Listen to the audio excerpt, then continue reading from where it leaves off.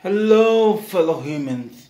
This is Reinaldo Cringe and today I'm going to be reviewing the game that I I am still playing because it's really good in my opinion. Let me tell you the game's name. Waku Waku Waku Sweets is very. I think it's a funny game.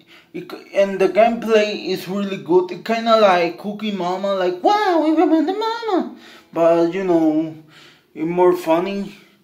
And yeah, I'd give it a 10 out of 10. Do recommend if you wanna play something like cringy or good, you know.